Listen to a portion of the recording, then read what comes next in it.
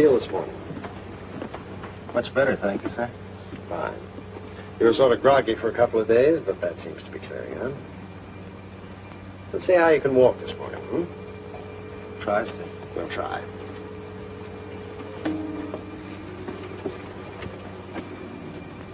Shaky. That passes off.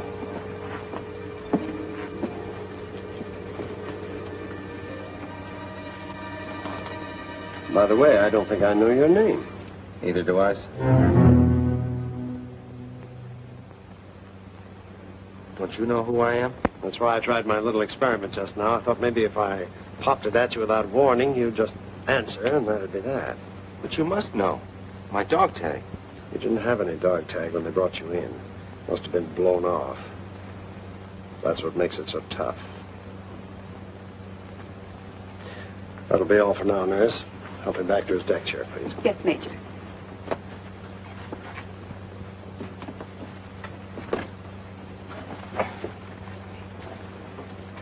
I'll be a few moments, nurse. Yes, Major. I'll give it to you from the beginning, at least as much as we know. Maybe that'll help. You know where you are. On a hospital ship. Right. And uh, you know where you were? No, sir. Well, let's start from there then. When we were driving for Paris, the Nazis got together every bit of armor they could spare and hit our line south of the Seine. They broke through on a half mile front, cut off quite a few men. One small group took cover in an old farmhouse, held them off for two days. We could see the whole thing through our field glasses, but we couldn't get help through to you. Then I was one of the men in that farmhouse? hmm Second day, one of their dive bombers got through and blew the house to bits. That afternoon, we attacked, smashed them back. When the medical corpsmen searched the ruins, they found that there'd been only four men in that house. Three of them were in such bad shape they just collected their dog tags and buried them. Fourth man was you. Then my dog tag was missing? No, not missing uh, exactly. It had been blown off you, just as theirs had been blown off then. I got the four of them right here. All you have to do is take a look at them. When you see your own name, you'll know it. Paul Gregor. That doesn't mean anything. Carl Granowski.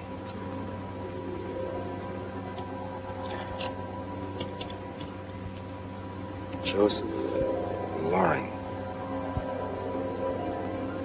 Loring.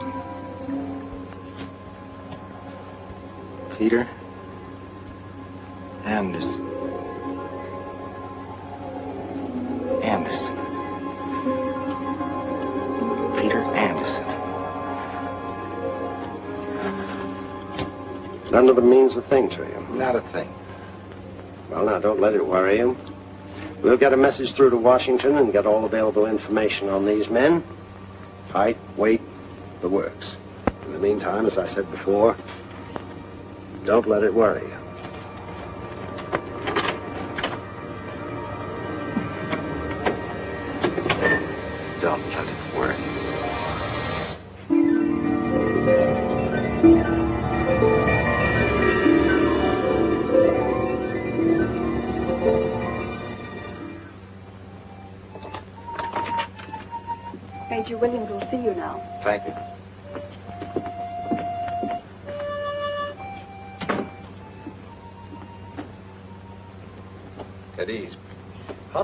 About 5'11"?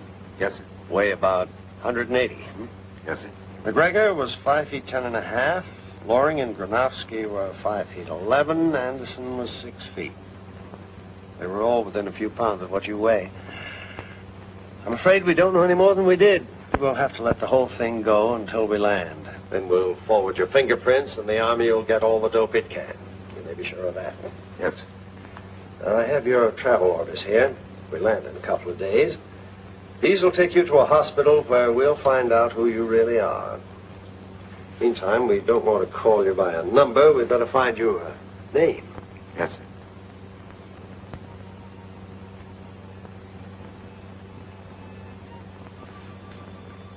How about John? Johnny? Okay. Johnny what?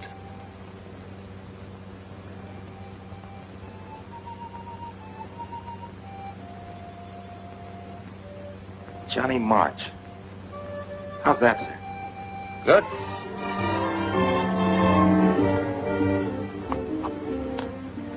Thank you, sir. That's all.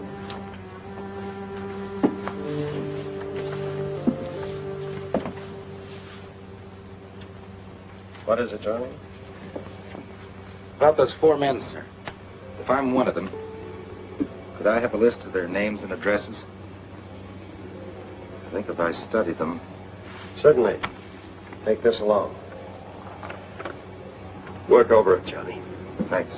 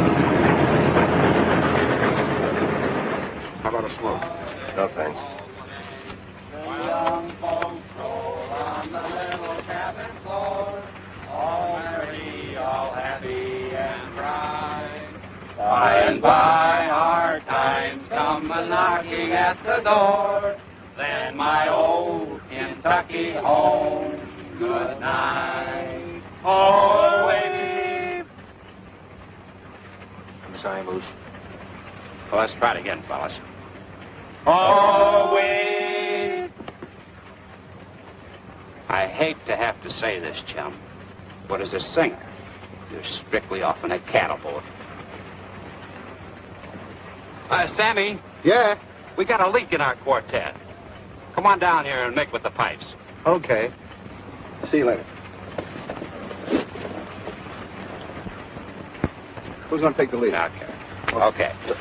Oh, weep no more, my lady.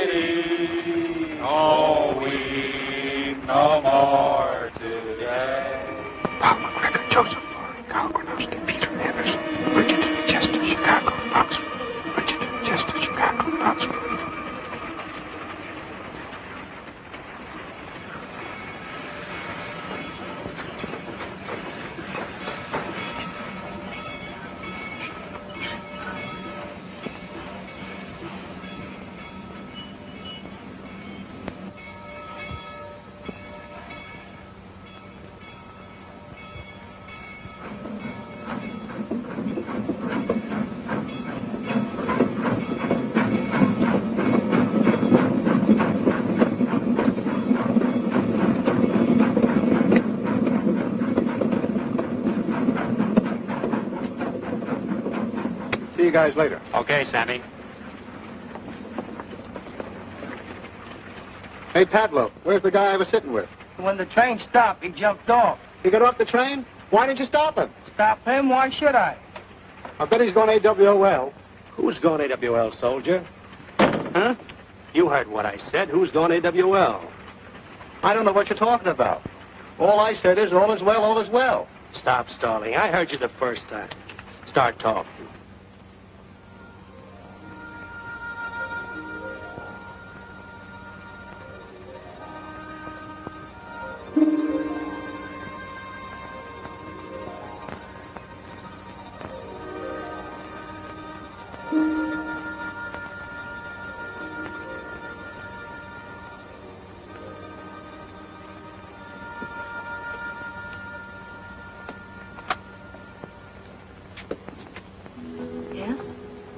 This Paul McGregor's house? And you're? I'm Sally McGregor. Paul was my husband. Who are you? John March. I was with Paul in France. Won't you come in? Please.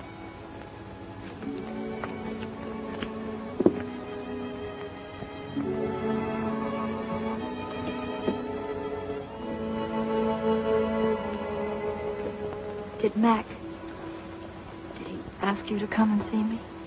No, it was my own idea. I just happened to be passing through, and I... I'm glad you did.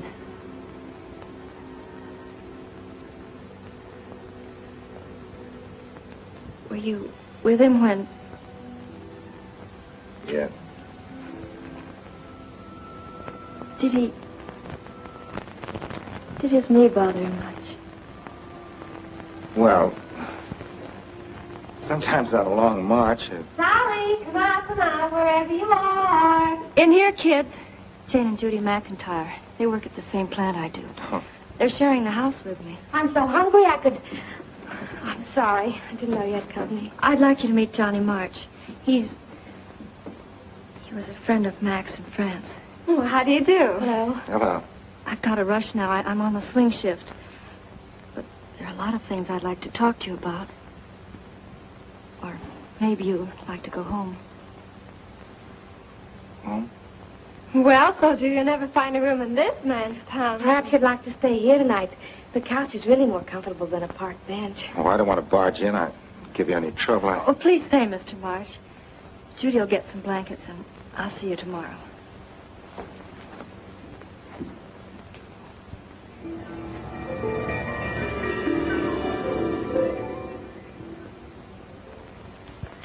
Don't spoil me, Johnny March.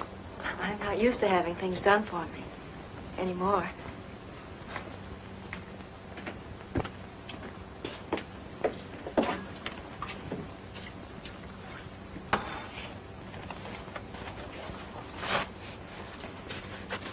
I'll get it. Thanks. There you are.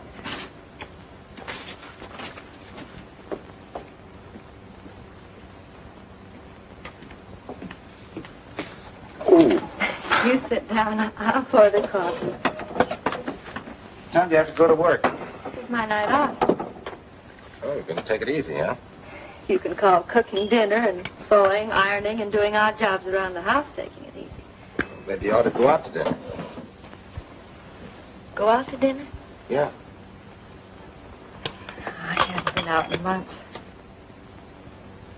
That's what I figured. That's why I said I thought maybe you ought to go out.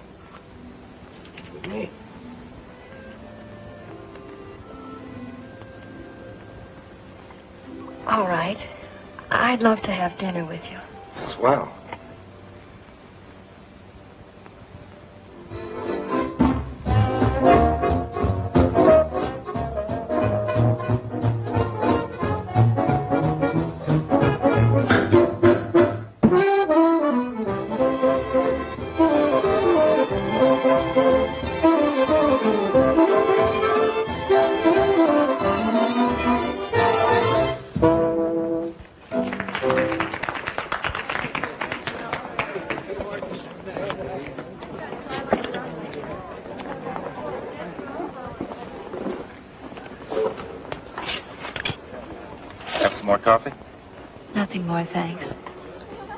Good time? I, I don't know, Johnny. It's been so long, I, I've forgotten what it means to have a good time. I guess. I guess I am having a good time. Should I be? Of course you should. Mac could be the first one to want you to. I don't know. It, Mac didn't have much time for fun during the six months we were married. Six months? Didn't Mac tell you? He owned a fleet of trucks, and his work kept him so busy on the road that we hardly had time to get used to each other when. Oh, they're the Bartletts. Mr. Bartlett gave Mac his first job. Do you want to ask them to sit down? Let's. Hello, Mrs. Bartlett. Mac. Sally, when did he get back? Oh, Sally, I'm sorry. Perhaps you'll excuse us. Uh, we're having dinner with the. Uh, over there. Come, Martha.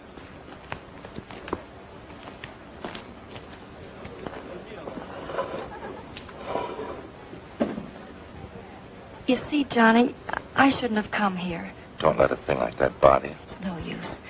You'd better take me home. All right, Sally.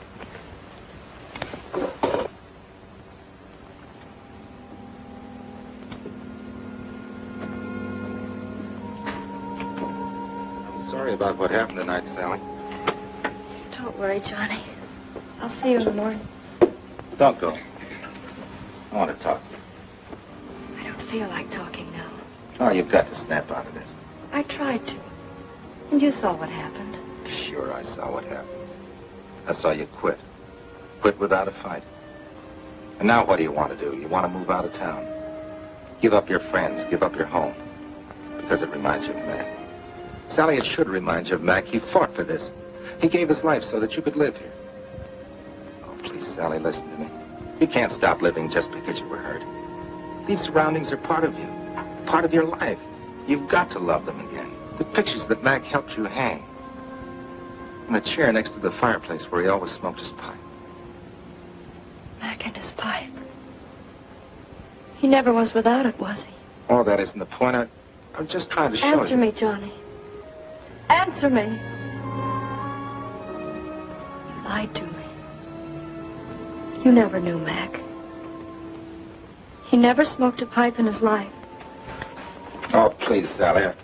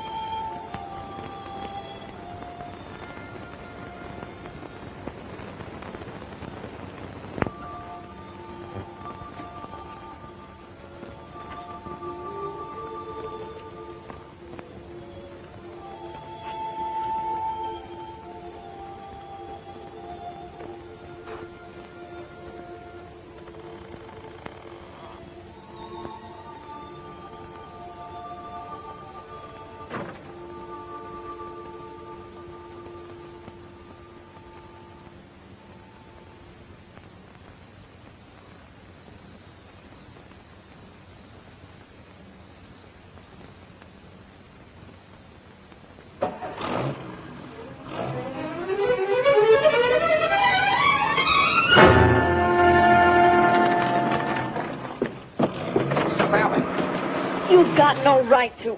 Why are you still here? If you had one bit of decency, you'd go. It's a good thing I didn't go. A good thing.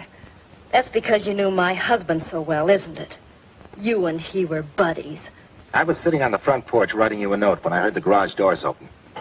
I don't have to give you that note now because I'm going to tell you about it. You're not going to tell me anything. I've heard enough from you already. Sally, you've got to listen. Oh, no, I don't. Please, Sally. Why don't you go home? Home? I thought this might be my home. It's a laugh. What are you talking about?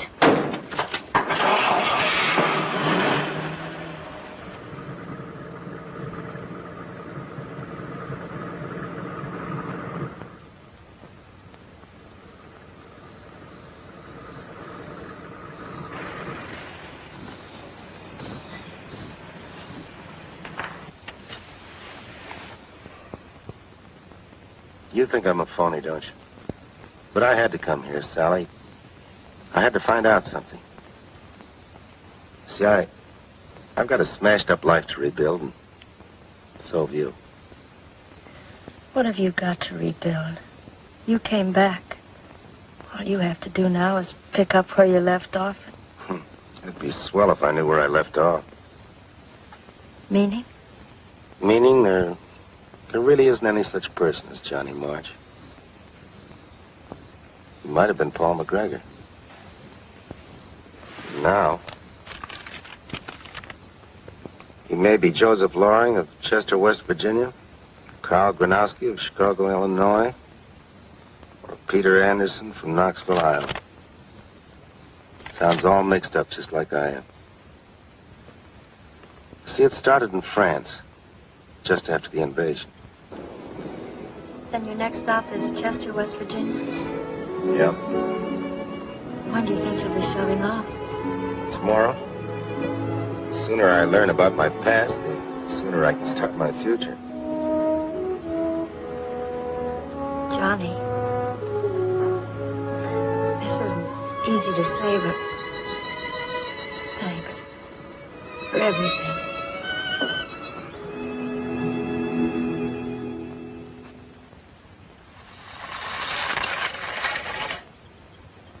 Come in and get ready if you want that lift to New York. Stan will be here in a few minutes. All right.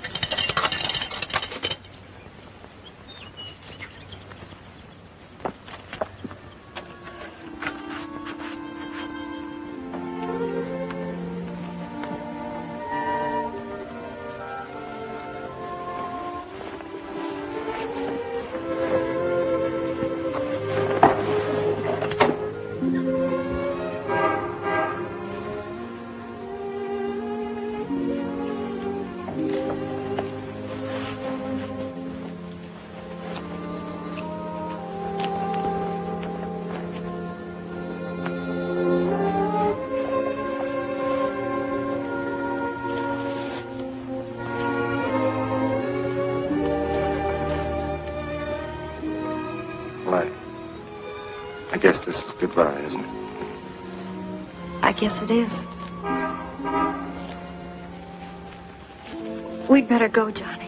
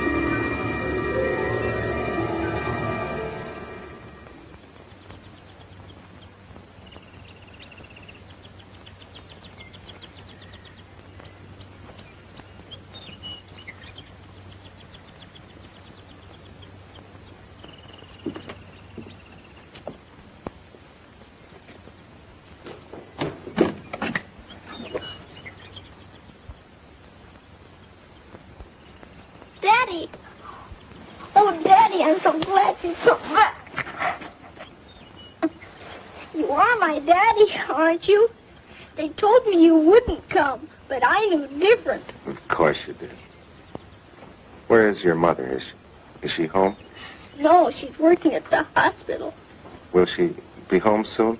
In a little while. And oh, Daddy, I'm so glad you've come back.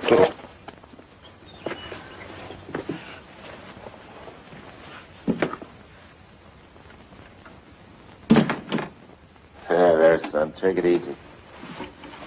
I'm all right now.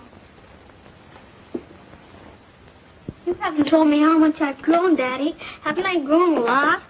Oh, you're positively enormous. Enormous? I haven't learned that word yet. What's it mean? It means you've grown so big, I, I doubt if I'd recognize you.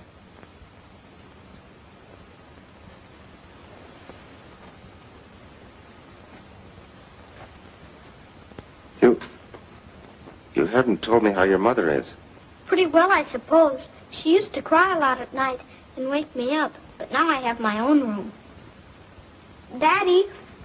Daddy? Uh,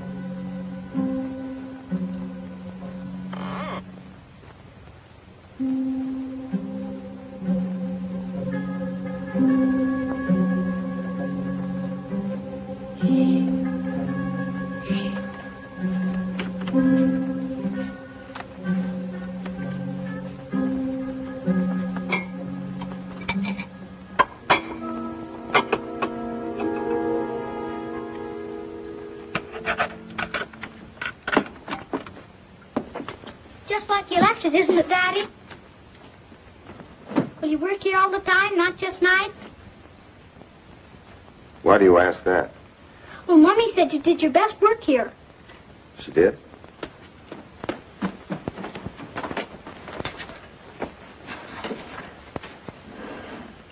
These are your pictures, aren't they, Daddy?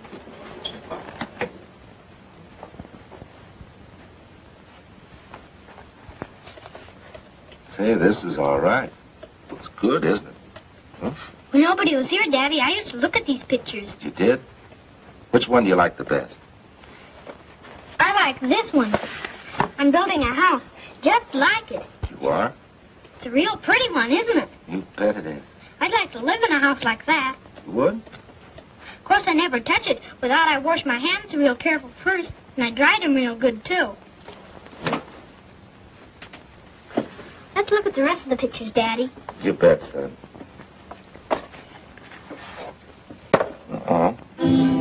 Designed for living. Fascist style. Condemnation proceedings to take precedence over all other work. What does it mean, Daddy? It's very simple, son. A lot of things had gone wrong because a lot of people thought wrong.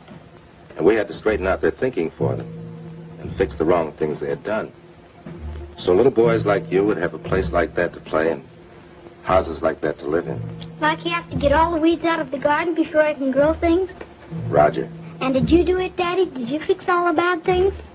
Well, it isn't a job anyone can do by himself. I helped a little, I hope. You see, it was a big job, and many people helped. But it'll take a long time before all the bad things are fixed.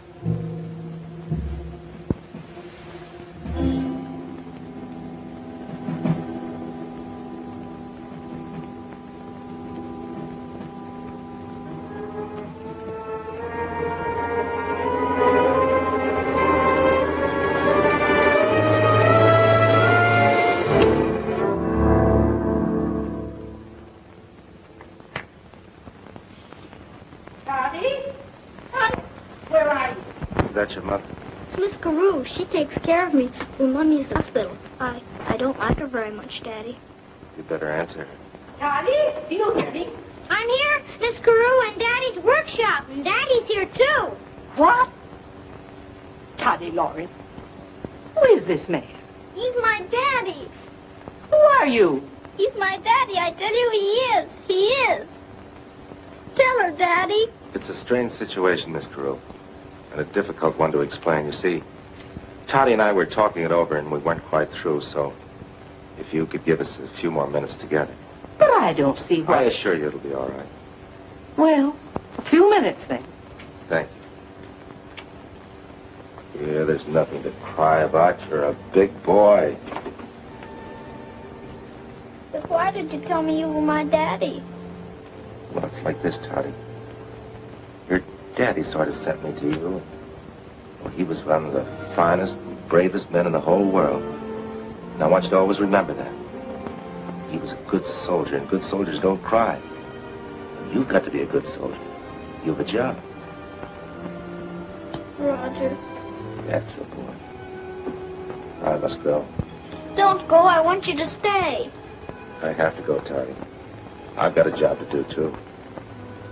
Come on, fella.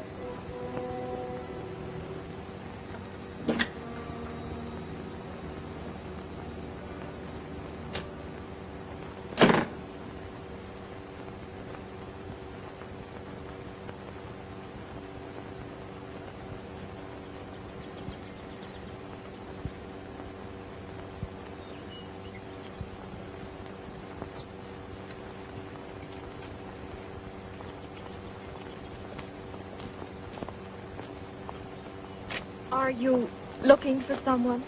Sort of. Can I help you? I'm afraid not. Thanks, Annie.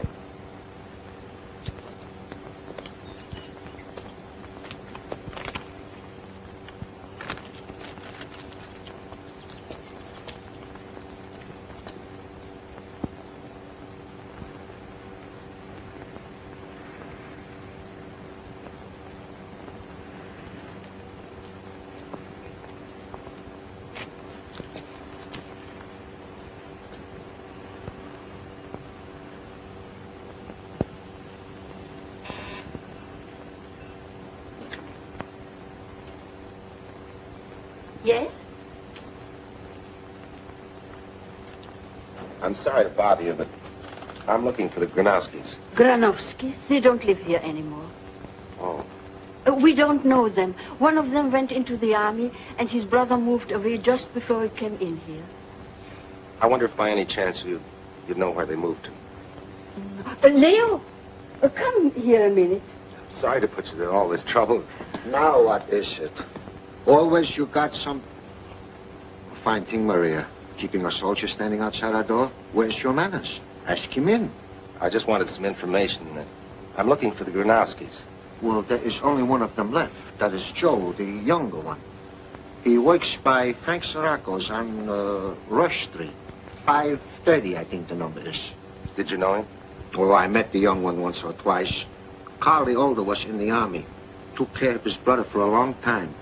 And then, besides, he had La Chancerenza. What is that? I don't know how you say it. It means like uh, healing hands. He used to take care of things that are sick. Dogs, cats, birds. I remember we had a man like that in the old country. In our village, we thought he was better than any doctor. I see. Well, thank you very much. You're Me- welcome. Maybe uh, you like I fix a cup of tea for you and a nice piece of comic. eh? Thank you, but I'm, I'm sort of in a hurry. Goodbye. So long, soldier. Goodbye, soldier.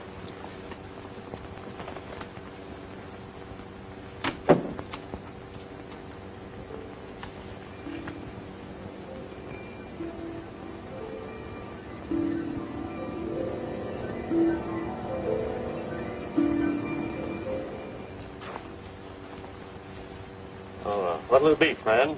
Looking for Joe Granowski. Is he around? Yeah. He's in the back room through there. Thanks.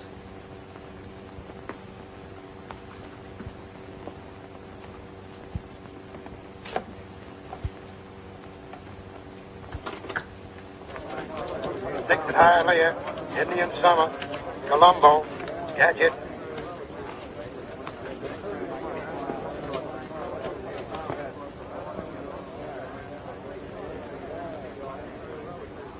Looking for someone, soldier? Yes. Joe Granowski. Over there, first window, but he's kind of busy right now.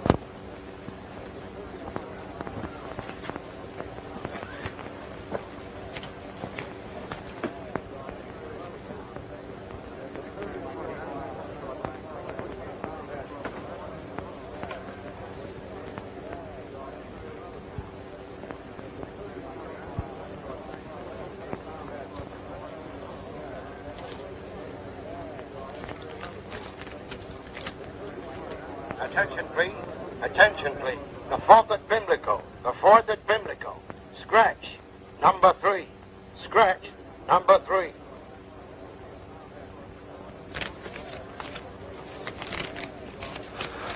Hey, wait a minute.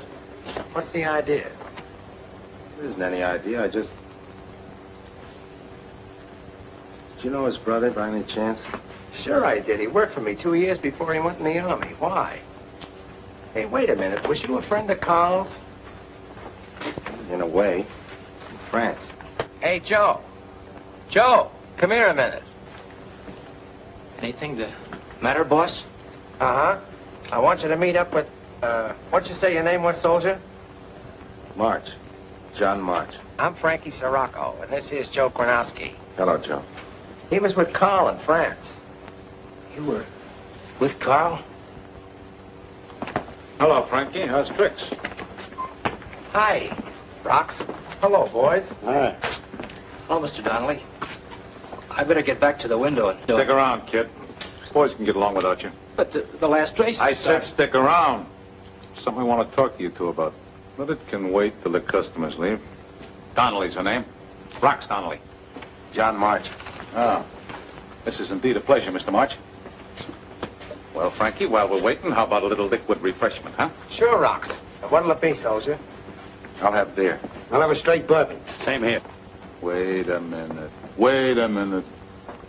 Uh, give Mr. March his beer. Me and the boys will have three milks. Now, wait a minute, Rox. Just because your liver's kicking up. Shut up. What's it all about? Pay no attention to these characters, Frankie. They're beefing on account of giving a little blood. Who's beefing about giving blood? They wouldn't let me in the army on account of this liver of mine, so I had to find other ways to help out. Giving blood is one of them. And Rox Donnelly don't do nothing halfway. When me or my boys gives blood, it's nothing but the finest quality and in the A1 condition. So for one week before we give, all alcoholic beverages are strictly out. I said three milks. Hey, Jake. Sit down, Johnny. One beer and three milks. Okay, boss. Well, Rox, what's on your mind? Oh, nothing very much. Just the 6,000 bucks you owe me. What are you talking about? Well, unless I've been very badly misinformed, Green Gremlin comes in at five to one in a fourth race last Tuesday with a thousand bucks of mine on the nose. Here's a slip.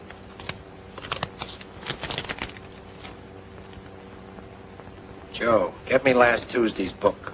There's no need to, Frankie. It's not in there. Well, you can say that again. But what I want to know is... Hey. Wait a minute. That's right. I did it. Rox met me on the street and gave me the money to put on Green Gremlin. I needed that money. And I had a hot tip on another horse. So I gave Rox the slip, never entered it in the book, and put the dough on my horse. But Green Gremlin won. You dirty double-crossing lumpy... Take it easy. Take your hands off me. Ah, the soldier's right, Frankie. Rough stuff ain't gonna get you no place. I put down a grand and my horse won. I don't care who pays me, but I want the six grand that's coming to me, and I want it now. Keep your shirt on. You'll get your dough. This is what I get for getting mixed up with a guy who's... Look out! Look out! Shut that door! Steve! Somebody turn on the lights. He's been hit twice in the shoulder and the chest. Somebody get an ambulance, quick. All an ambulance. Who is this character? Danny Partridge. One of Reynolds' monkeys.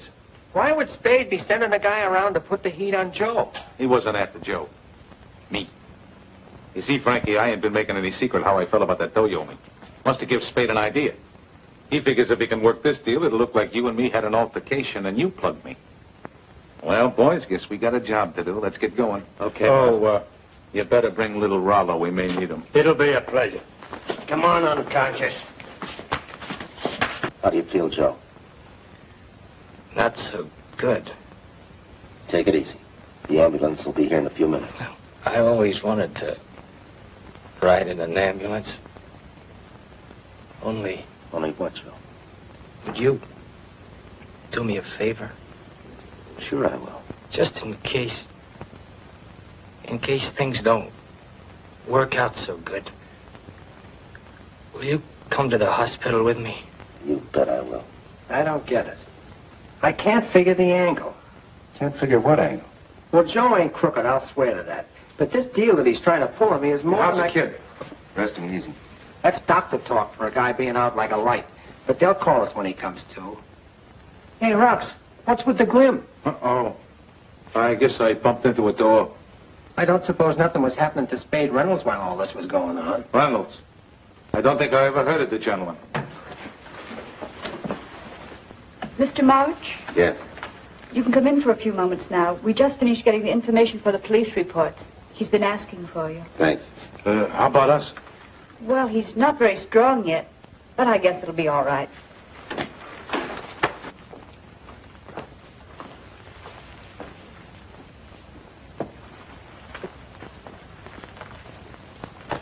Well, Joe, looks like everything's okay.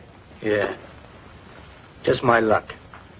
Say, look here, kid, there's something I gotta know. Was you aware of the fact that Spade had a guy looking for me? Nah, not till I saw a guy standing there with a gun in his hand. Well, then why did you yell? If you'd have kept still and let him burn me down, you wouldn't have to worry about the six grand. Why did I do it? I guess it's just that I'm a sucker. You think a guy that thinks enough of something to stop lead is a sucker? Don't you? I'm just wondering about your brother. You keep him out of this. Carl took care of both of us until he went in the army. Just before he left, he told me he was fighting for a right. His right to become a doctor so he could help me. And look what it got him. I figured one chump like that in the family was enough. Well, if you had it figured out that way, why did you look out for me, a guy you just tried to double cross? I just told you why. Because I'm a sucker. A chump. If you hadn't stopped them bullets, Rox would have been colder than a pair of Eskimos' ankles. And then nobody would have owed nobody nothing. Right, Rox? Right. And as far as I'm concerned, if I may be permitted to borrow a phrase of my good friend Frankie, that's the way it is. To don't nobody owe nobody nothing. Check. And when you get out of here, Joe, your old job will be waiting for you. Uh, you better throw in with me, kid, where you'd be appreciated. What's the matter, Joe? I don't feel so good. Did I say something wrong? No, Rox. I think Joe wants to do something different. What do you mean? I think he might want to be a doctor. How did you know that? Well, that's what Carl wanted. I figured you'd want to take up where he left off. Yeah, but oh, how could I? College and medical school, uh, that takes a lot of money. Well, don't worry about that, young fellow. That'll be my department. And say, listen, uh, while you're studying all that stuff, will you learn something about livers? Like any right-thinking businessman, I got to figure on getting some return on my investment. And it's a funny thing about my liver. I'm sorry, but you'll have to go now. Oh, yes, miss. Yeah. Uh, so long, kid. Be seeing you. Be seeing you. Goodbye, Joe. Goodbye. I want you to know. Don't try to talk anymore. So long.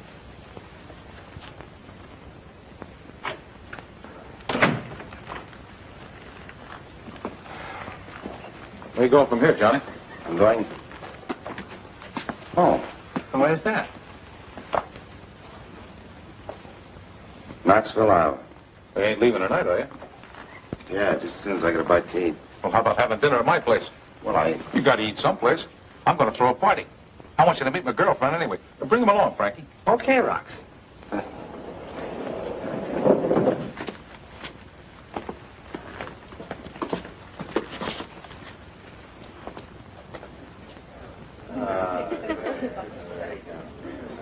Ladies and gentlemen, I wish to propose a toast to Rox Donnelly.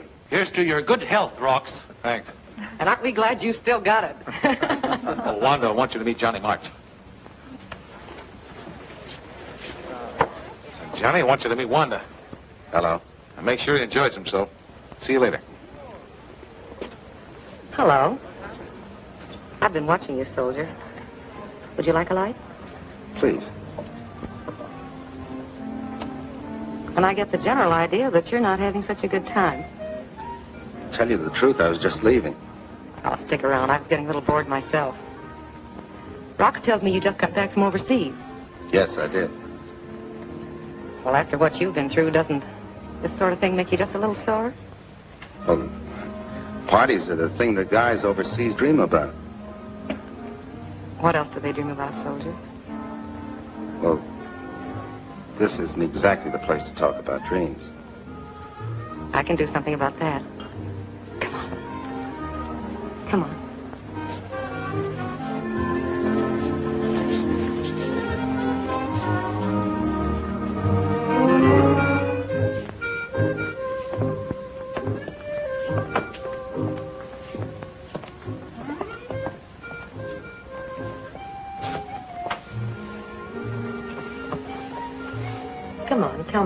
Dreams. Well, they're, they're not easy to tell. Well, we have plenty of time. Or have we? How long are you going to be in Chicago? Not long.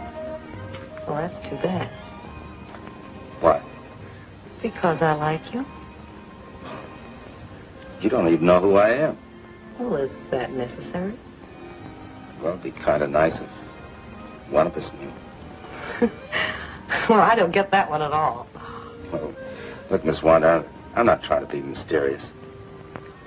Come on, soldier. There's a girl somewhere, isn't there? Why do you say that? There's a telephone out there. Why don't you go call her up? Well, I'm in Chicago and she's in Connecticut. Rox won't mind. He can afford it. Maybe this has been said before, but women are funny. Come on, don't give me any more arguments. Go on in there and phone her.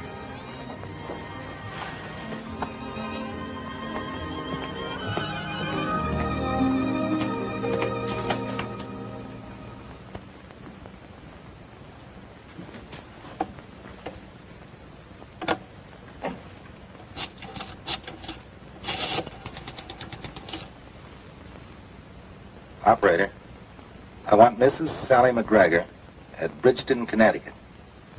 That's right, Bridgeton. B R I D G E T O N.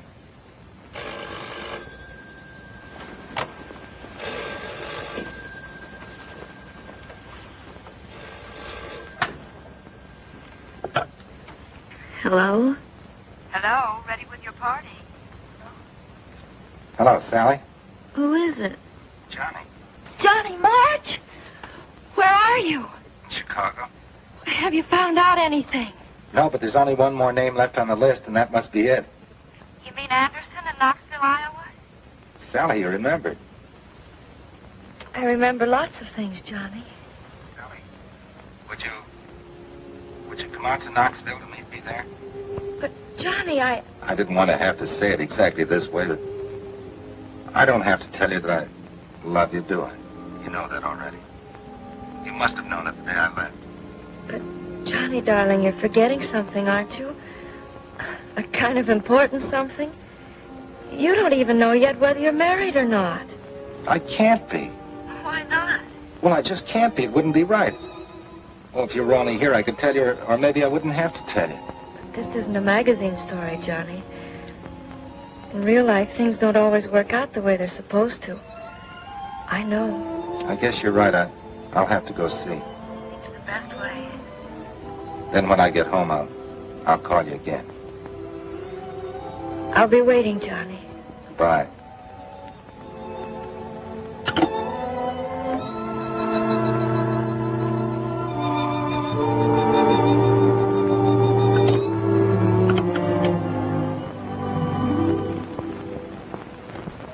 Is everything okay?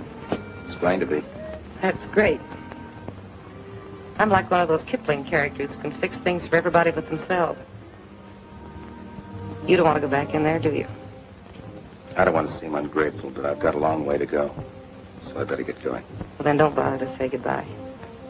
The library's in there. The elevator's across the hall.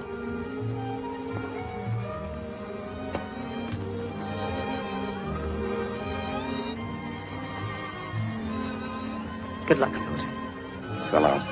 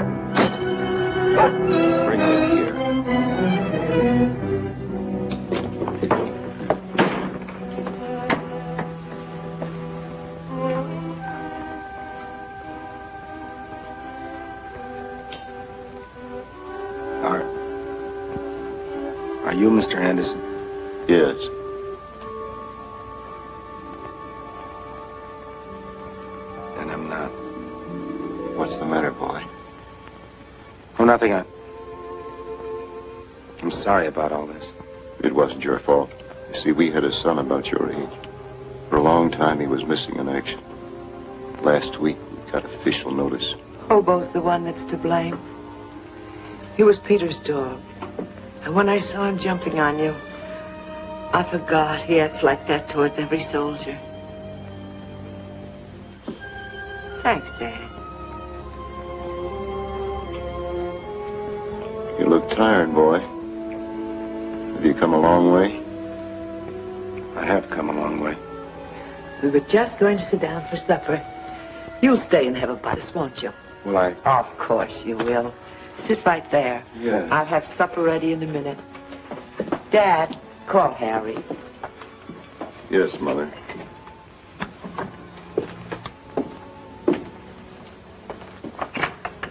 Harry! Supper! Serve the stew, Dad.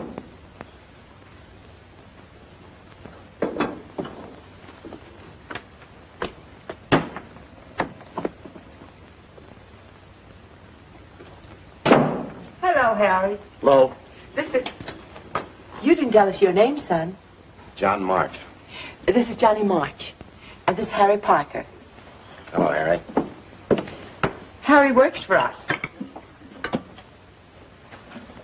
All right, Dad.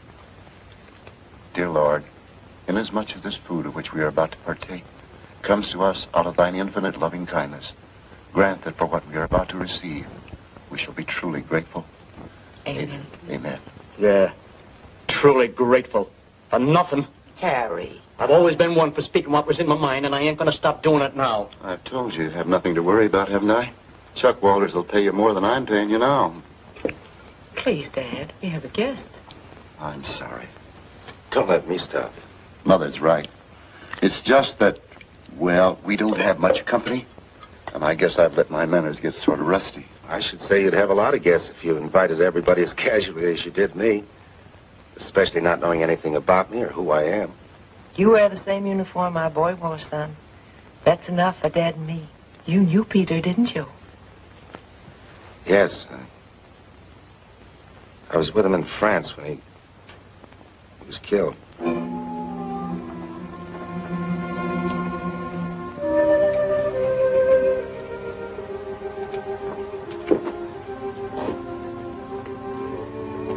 But you knew about it.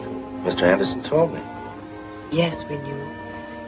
We received a telegram last week. It's just that Peter and his father were so close. I knew you had something to do with Peter. I was afraid to say it, but I knew. And when it came, was it quick? He didn't suffer a single instant.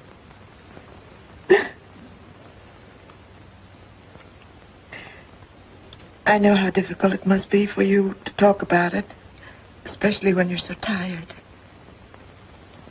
Would you like to go out and sit on the porch for a while with Dad? Or would you rather go to your room?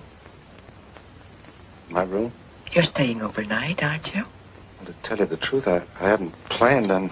Are they expecting you someplace else? No. Then you will stay, won't you?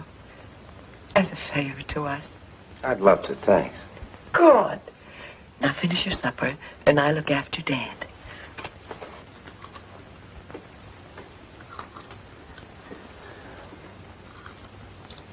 I guess the Andersons were pretty cut up when they heard about the death of their son, weren't they? Yeah, she's quieted down a bit now, but Anderson ain't been the same since it happened. He just don't seem to give a hoot about anything anymore. That's why he's getting rid of the place. Selling out? Yeah.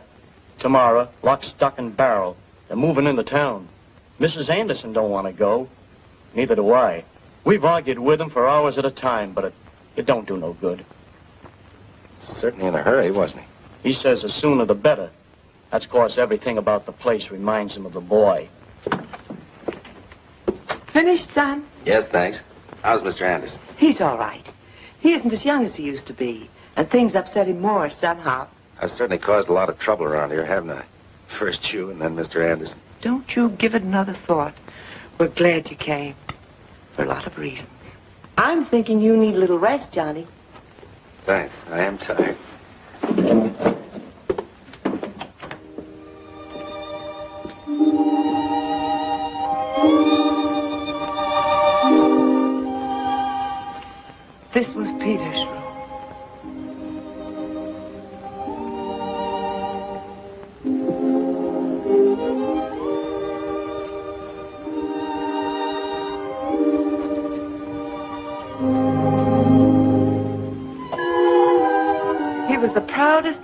Country the day he won that 4-H prize.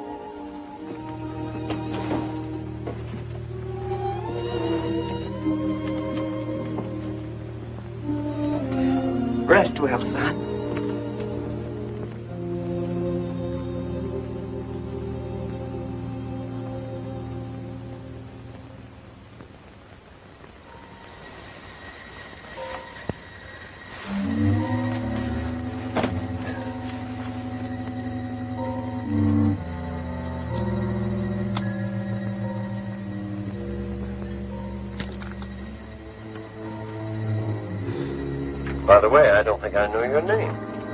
By the way, I don't think I know your name. I'm Sally McGregor. Paul was my husband. Who are you? I'm Sally McGregor. Paul was my husband. Who are you? But why did you tell me you were my daddy? But why did you tell me you were my daddy? What'd you say your name was, soldier? What'd you say your name was, soldier?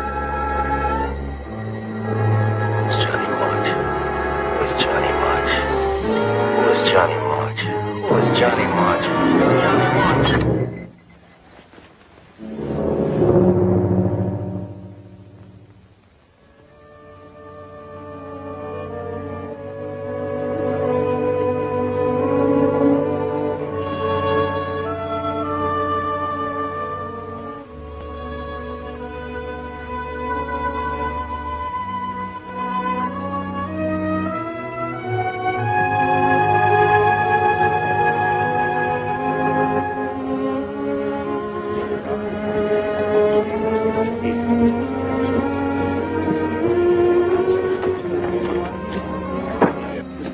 Got you down, hasn't it? It's a little hard to have people walking around your house and pawing your things. I know now I made a mistake. I guess I'll just sit up here out of the way until it's over.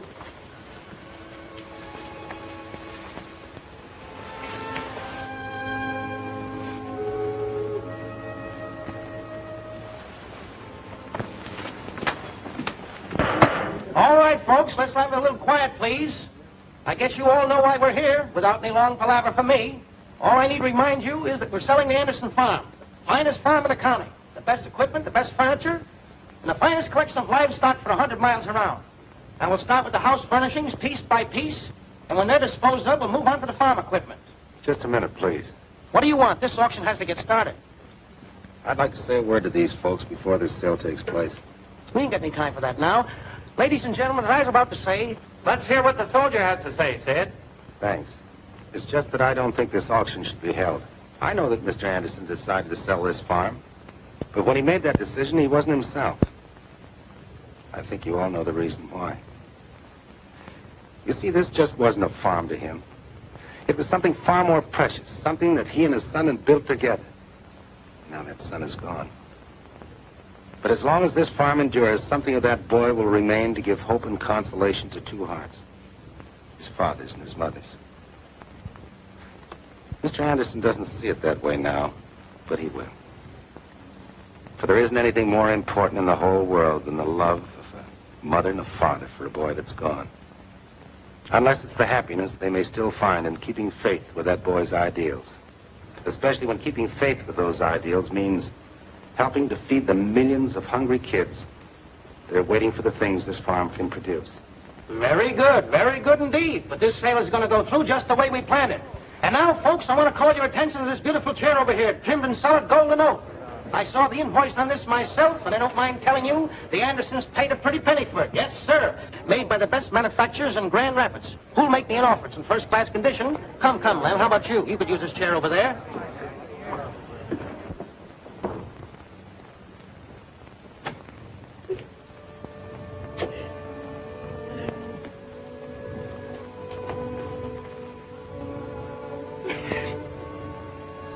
Mrs. Anderson. Nothing's going to be so. You're going to stay right here where you belong.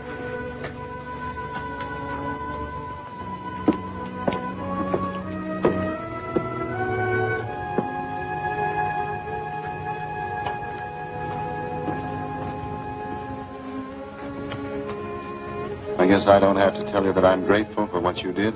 You've both been very kind. I just want to say that I'll get it. Hello? Who? Yes, he's here. Johnny, it's for you. For me? Yes.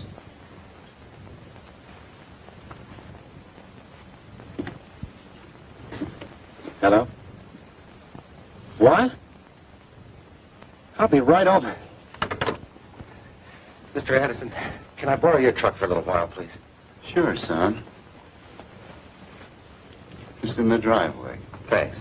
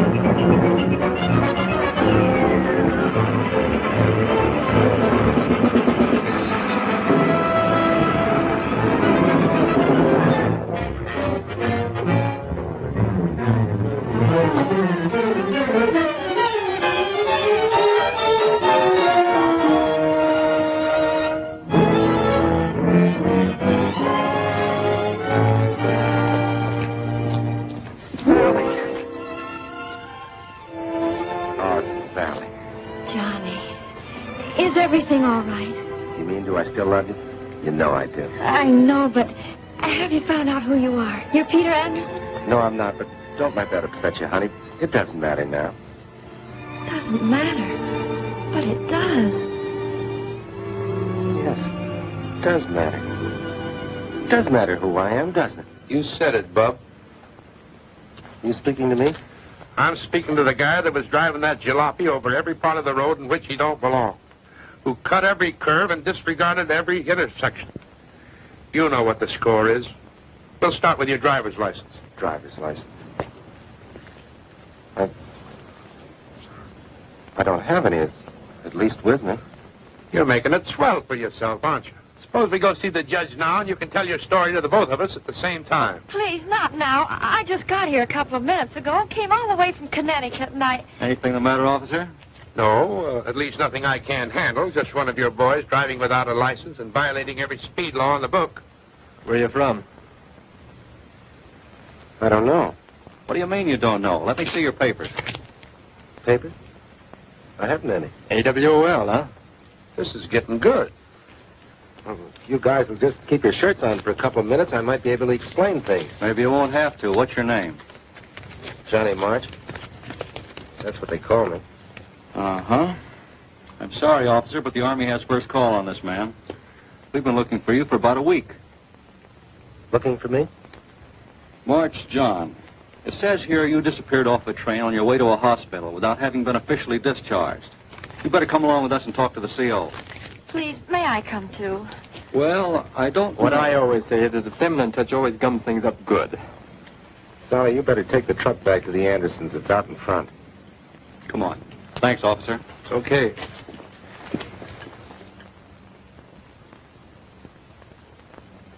And I didn't think I was actually doing anything wrong, sir. Jumping off your train, not notifying your commanding officer of your whereabouts for one week? See, I was just trying to establish my identity. That's the Army's job, not yours. Private March, you were AWOL. And until I receive further information regarding you, you will be confined to the guardhouse. Yes,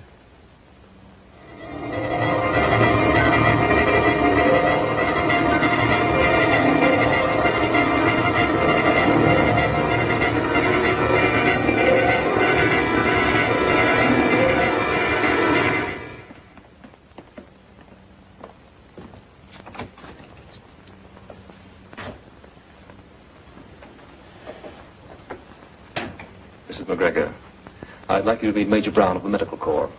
How do you do? Major Brown is a psychiatrist. Sit down, won't you? Thank you. We sent for you, Mrs. McGregor. You found out who he is? Yes, we know who he is. But before we tell him, we'd like to try to make him find out for himself. It's better if he remembers.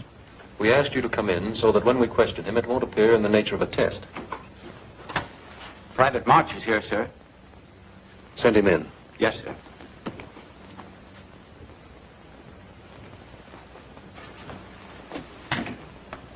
At ease. Thanks. Private March, just before you came in, we were having a little discussion. Perhaps you can settle it for us. Do you know the date of the Austrian succession? 1740. And how about the Council of Nicaea? That was 325 A.D. And do you happen to know just why you remember those dates? Well, after all, I should have. I was a professor of history at... Sally, I. Then you do remember who you are. Yes, sir. And your fingerprints verify the report beyond doubt, Captain. Captain? Yes. Captain Olberts flew his plane in over a farmhouse in which four American soldiers had been trapped, hoping to drop food and supplies to them. Just as he came over, a German dive bomber came in and blew the farmhouse to bits. Just how Captain Olberts escaped when his plane exploded is more than the authorities can state at this time. Suppose we just check this report. Yes. Name? Charles Aldrich, Age? 33. Uh, next of kin? Orphan. Marital status? Single. That's all.